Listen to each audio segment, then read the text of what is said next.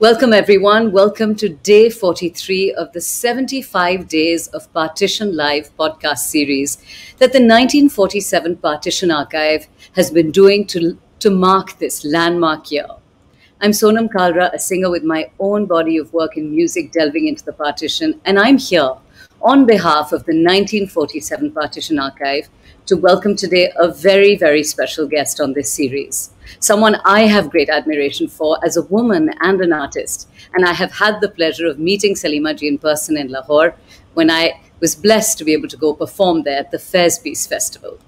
Salima ji is an incredible woman, a Pakistani painter, artist, former college professor, anti nuclear weapons activist, and former caretaker minister in the Najam Sethi caretaker ministry in Pakistan. She has served for four years as a professor and the Dean of National College of Arts, and she's guided some of the most prominent contemporary artists.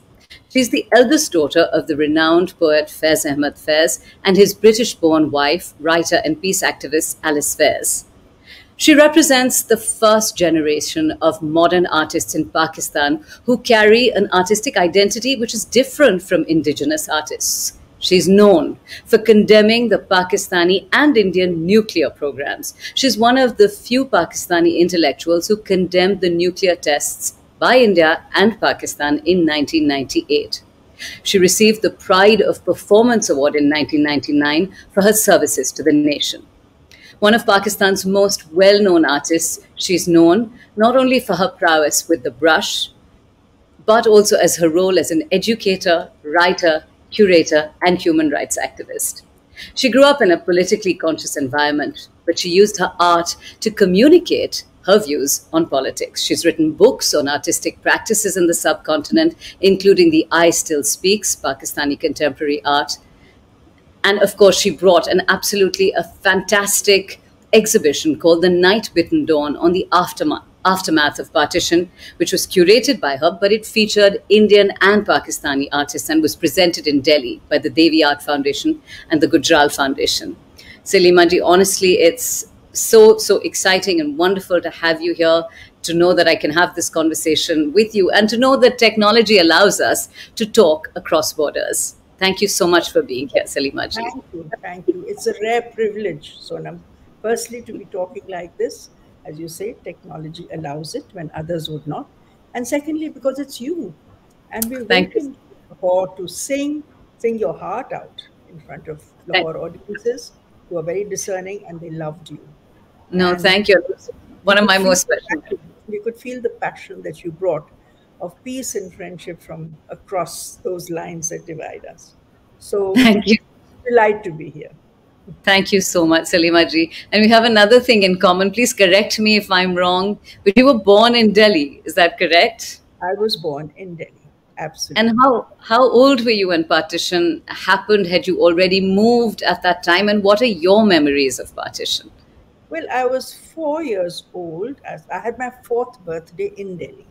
So you know, and it was post that I bought uh, three months after that that we moved in the beginning of uh, 47 um, from Delhi to Lahore because my father had been offered the editorship of uh, the newly set up Pakistan Times. They knew by that time that Pakistan was coming and right. um, felt that it needed um, strong editorship, strong journalism. So he came and there was two papers, one in Urdu called Imrose and one in English called the Pakistan Times, which later became a much quoted newspaper known for its uh, independent views um, and which were very often critical of mm-hmm. both Indian and Pakistani um, nations' narratives.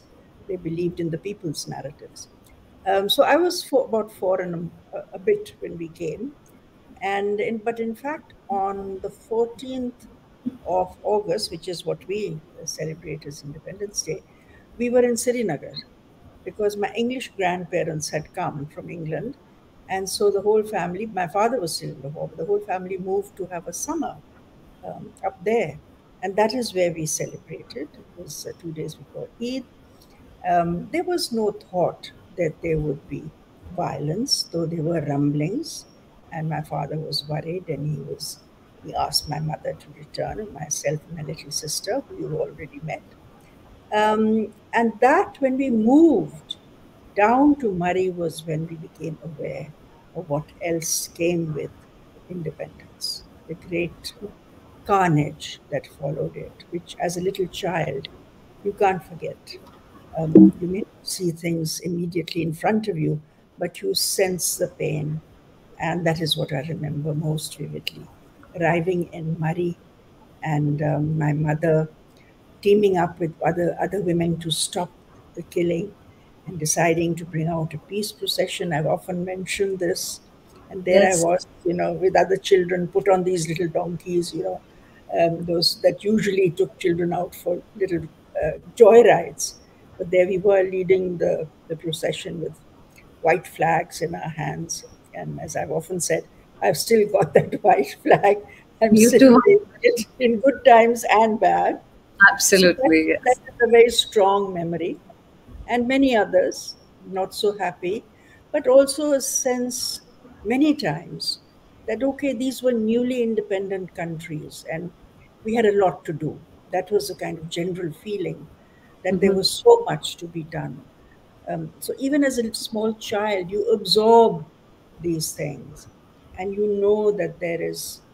Um, it's born. Hope is born out of great pain and great right. suffering, right. but um, but there is hope. So you, I mean, you. When did you get into art? Was it very soon? When you were very young, were you interested in art? Or, because I know you were interested in a lot of theater as well.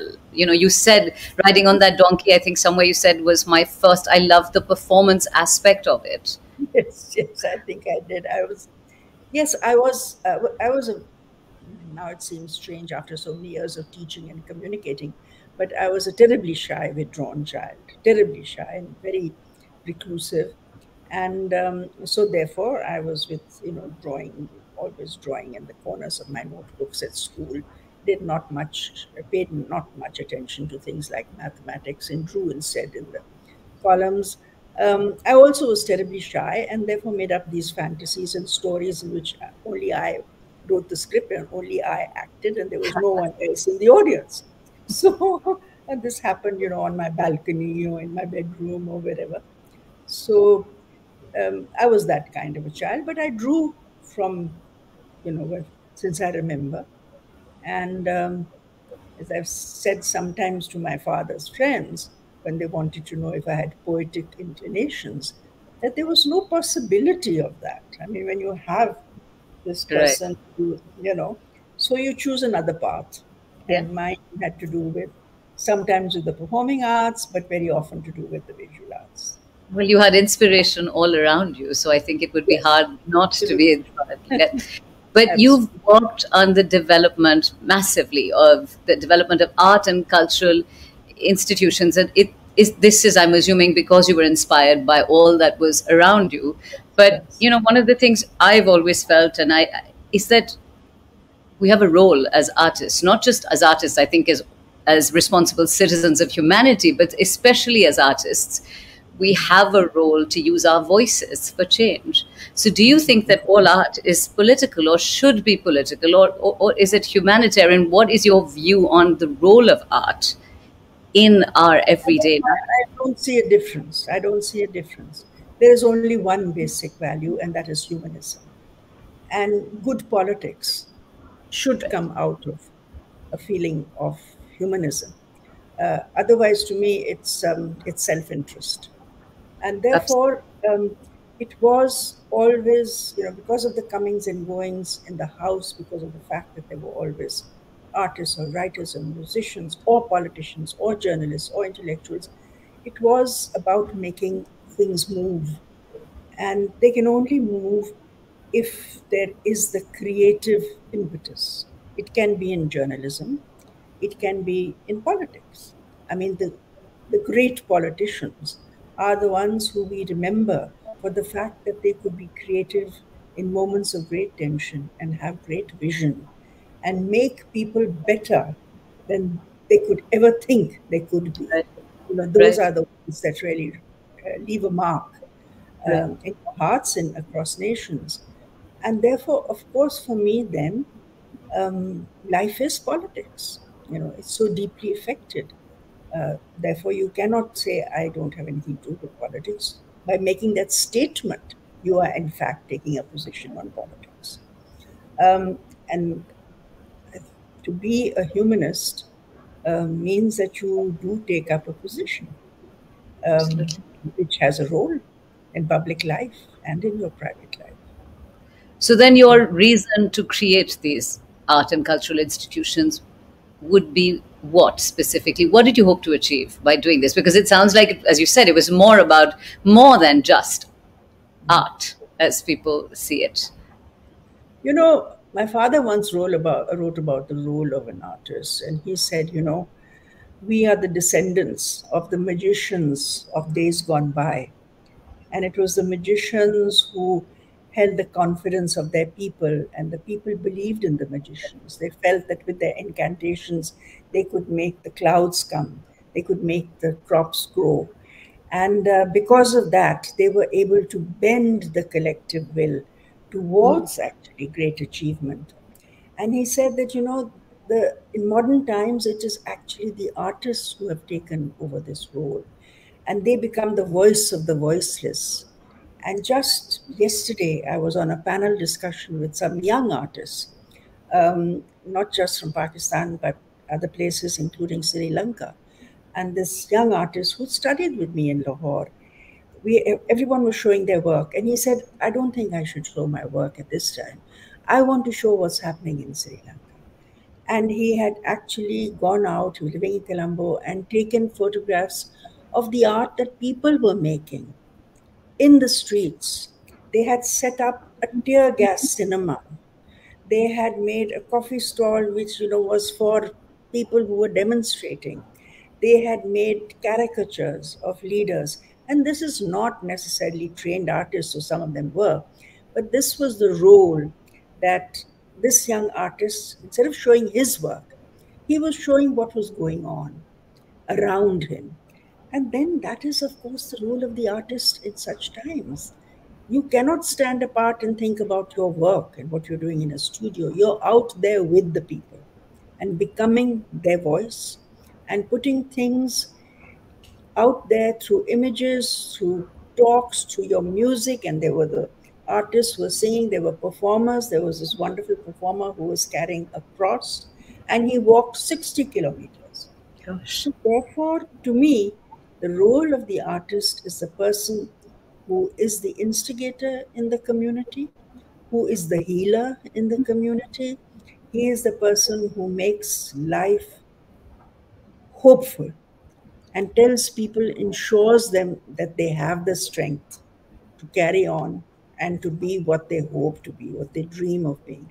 So artists often are, they are the, they have the repository of all our dreams whether it's in a poem, whether it's a song that you sing, whether it's a painting that I may make, whether it's a play or it's a film.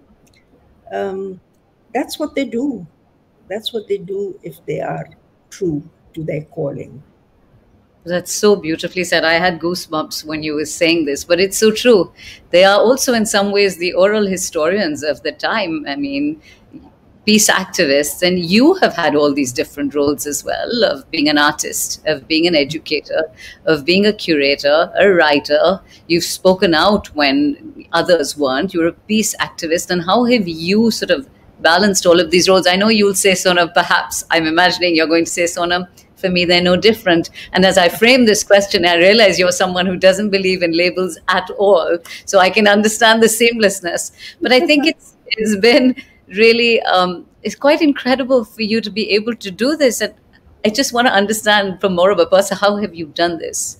What is your belief, deep rooted belief, been that has that sort of fires you to do this?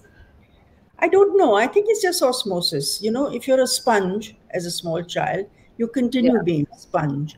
And you especially if you're not tremendously outgoing which i wasn't um, all of that permeates your being. And you also listen. You listen to what people are saying what their stories are. You are one with them whether it's their pain or whether it's moment of joy. You know when my father wrote at partition ye daag daag ujala ye shab guzida seher. Ye wo seher to nahi.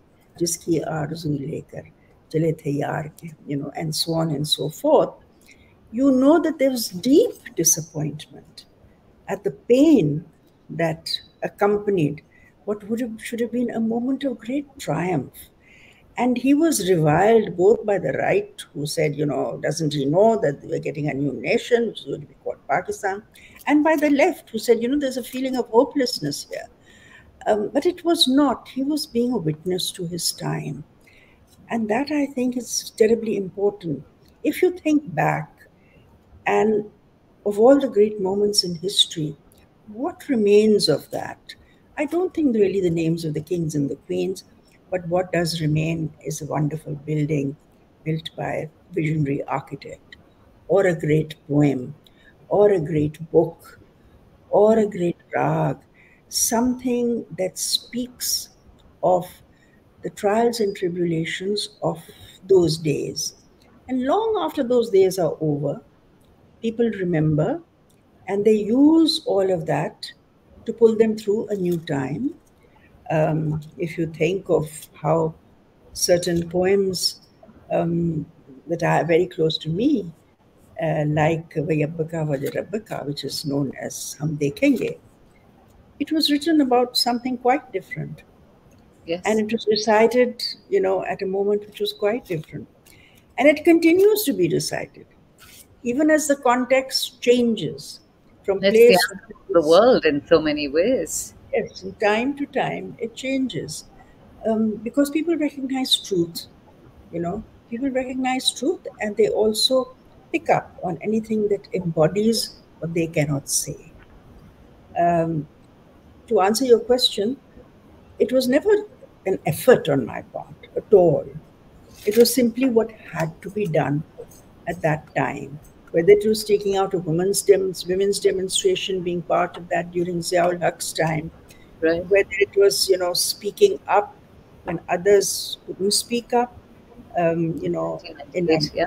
in a, denial of human rights when an, a journalist is being vilified you have to write a letter uh, to the highest office in your country to say that we are watching you if you think that we cannot comment so i think and this and it can happen in the smallest of ways if students are being uh, wrongly treated, you can be their champion and walk into the vice chancellor's office and say, sorry, this is, this is not acceptable. So it doesn't matter how small, how large, um, what it is. And you can also make fun of those in power. To me, humor yeah. has been a great ally. You know, you yeah. can always say the emperor has no clothes yeah exactly and as it should be i think that's the voice of the people i mean you just said bol ke lab azad hain tere but even just hearing you say two very very important things i think that we forget to be witness, to bear witness, and to listen. That is something I think we've all stopped doing. You know, we're not ready to listen to each other's perspectives, and we don't listen enough to be able to then respond with empathy. But speaking, coming back to the partition, you know, you curated an incredible exhibition on partition.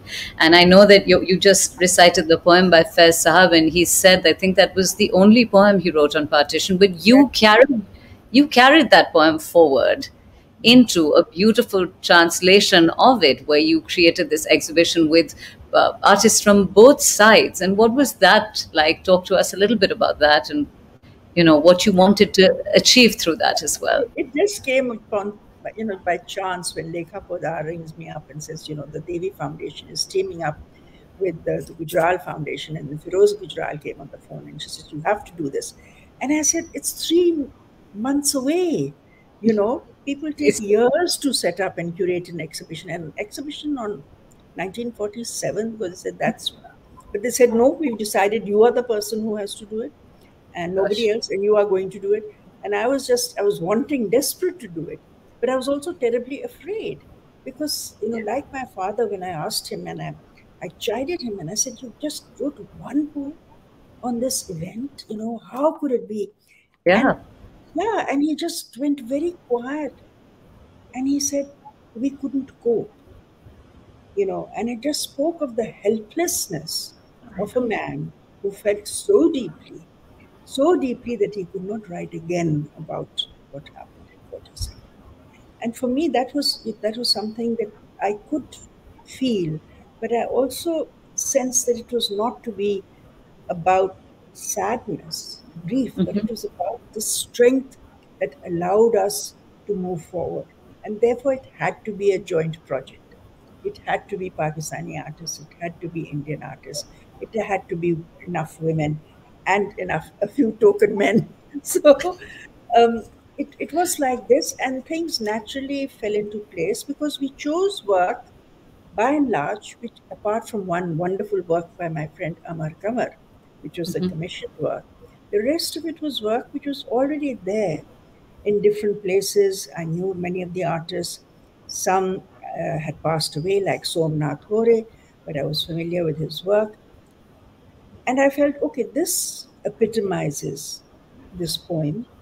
And I called it this Night Bitten Dawn, which is yes. a translation of Yadav Ujala. And um, that is how it came about. Many of the works came from the collection of the Devi Foundation. Some came from the artists themselves who I approached. No one said no to me. Amar Kanwar felt that it was too big a project for him to take on at such short notice. But I have had a way of seducing him. And that, I sent him the poem recited by my father. oh my God. How could he say no? Absolutely couldn't say then no. He just, you know, then he succumbed and he said, I can't say no. And he did a very, very moving work, which I think, you know, it, it really, I, I sat through it many, many times with tears coming down. And, and I think it had the same effect on so many people who were told me. So that was for me a very important moment because in Delhi, where I was born, I was able to kind of shed a burden mm-hmm. and also hopefully to build a bridge and to make the artists and the audiences realize um, that that moment, which we hoped and wished for, had not yet come. The culmination is not yet there. We have to yeah. carry on, you know.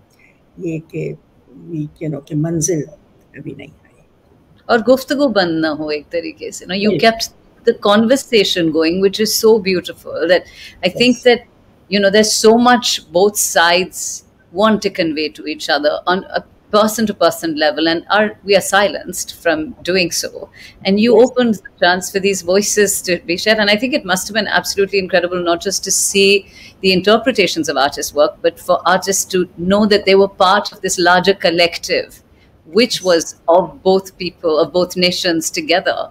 But do you really believe, do you believe, I mean, I know that be, being, you know, such a great champion of the arts as well, is art the way forward for us to Im- improve, you know, cross-border relations? Is collaboration the way forward for peace?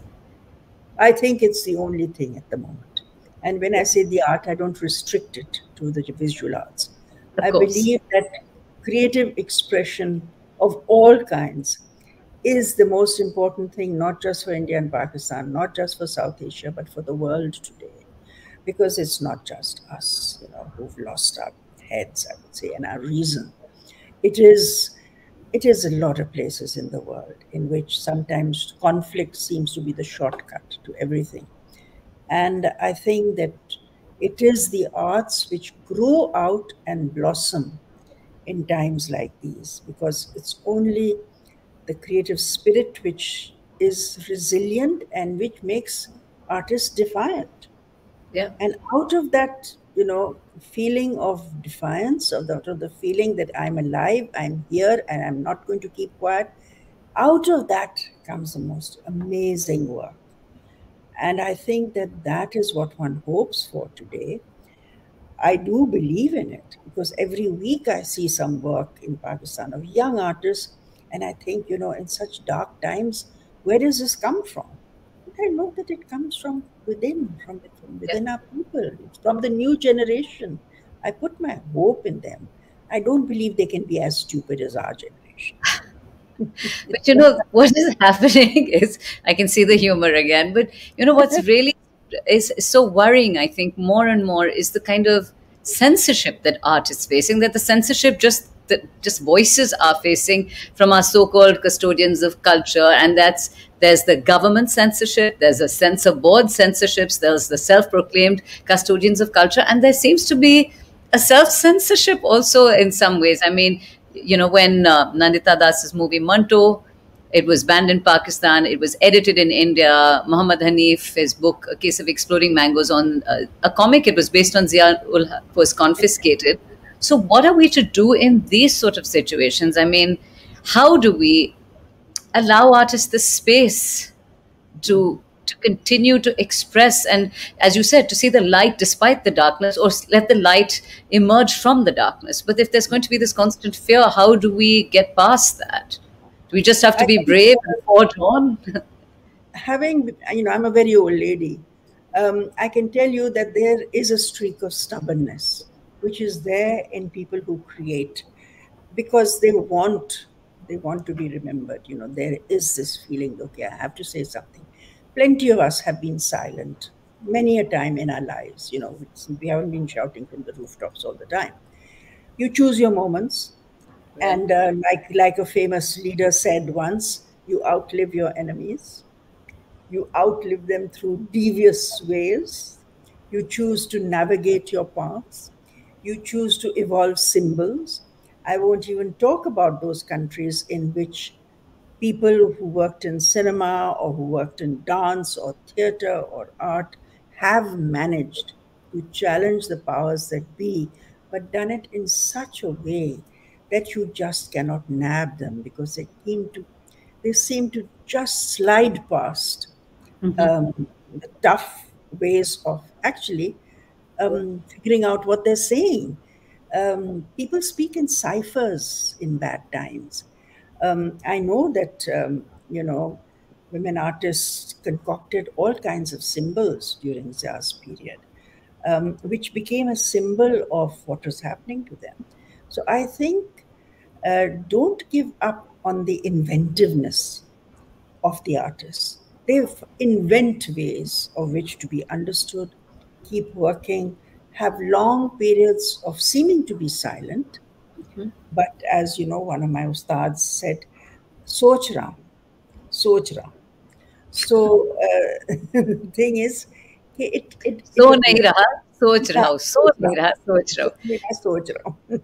But I think that what you've just said is so. If, if, if there are any artists, or writers, or activists watching this, I think it's really important for them to hear this because you know there is a general fear across the world, and to know and to be told or guided so beautifully by you, I think it's important for them to hear this.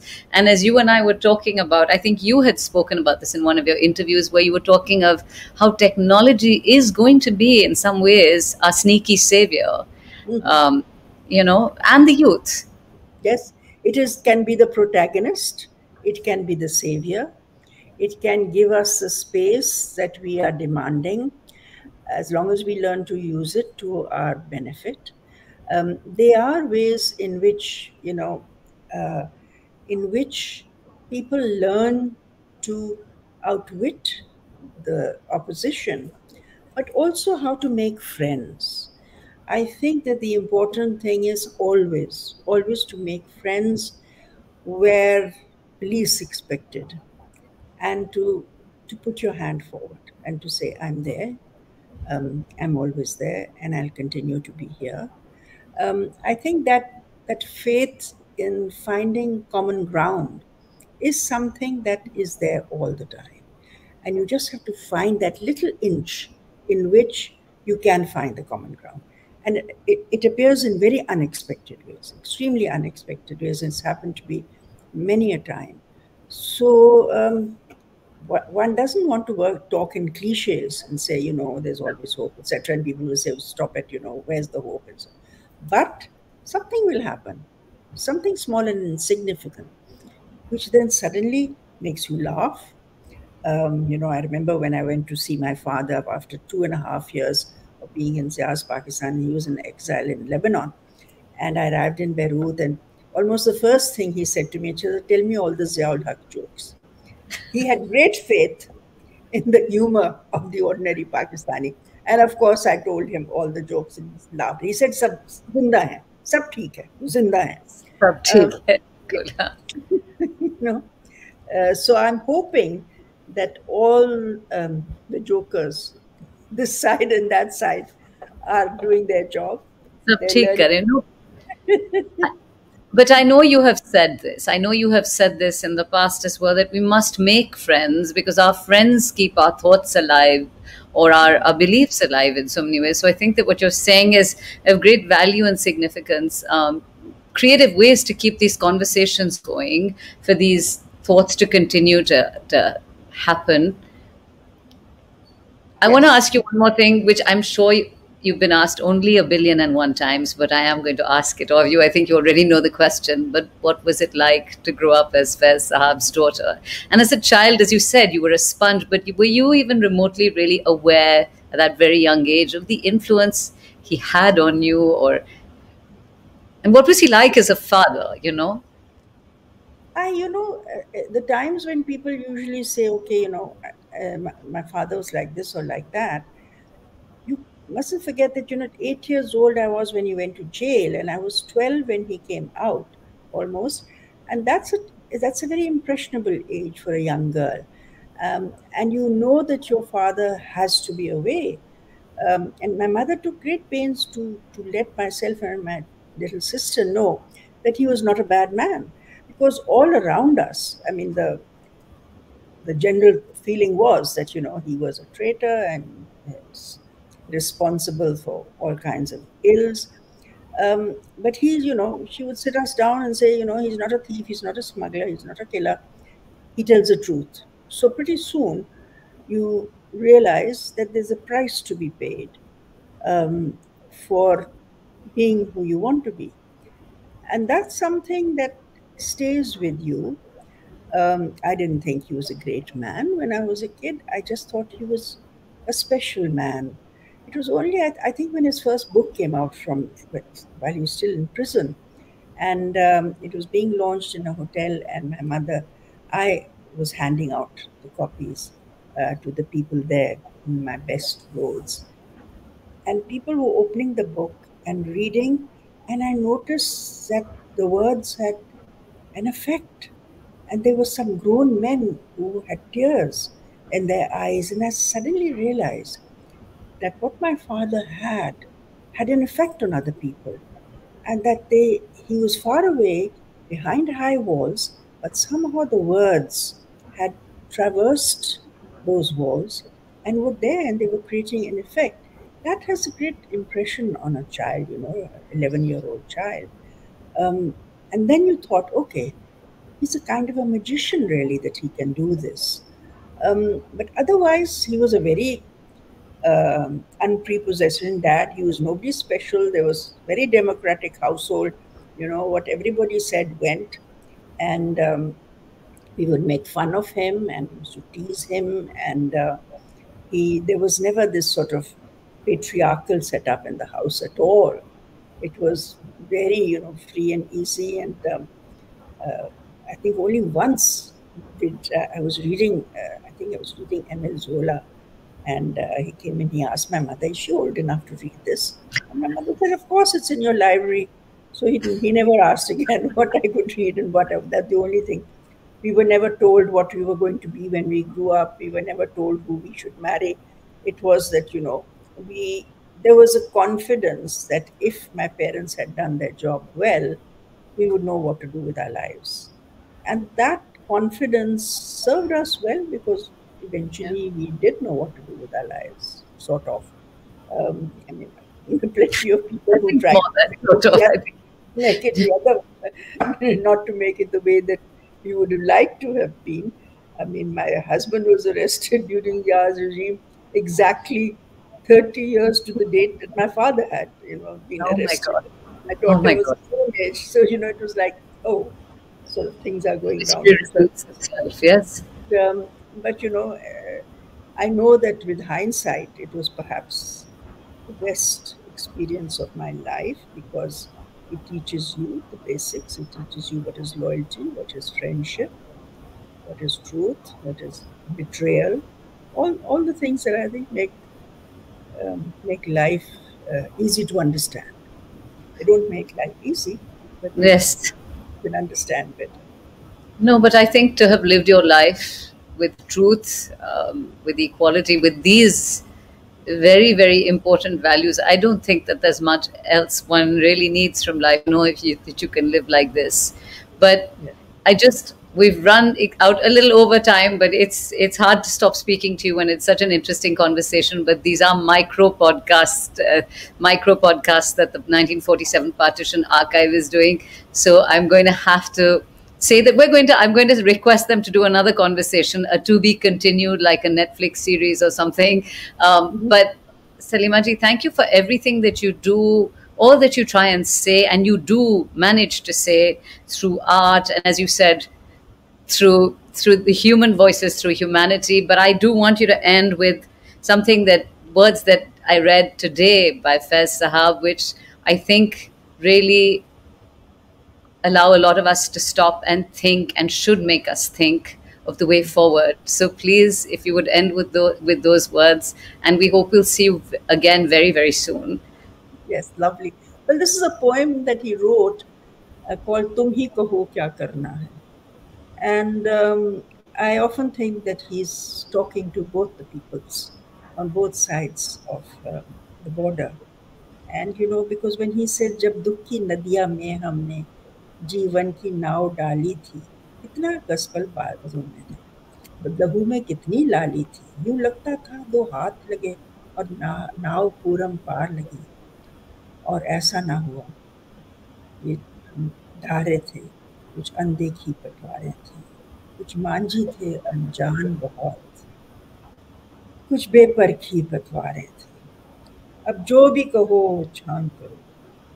अब जितने चाहो, दोष था नदिया तो वही है नाव वही अब तुम ही कहो क्या करना है ये घाव कैसे भरना है we have to do it ourselves there's no third power that is going to come along and tell us how to solve our problems we have to go out तुम ही कहो क्या करना है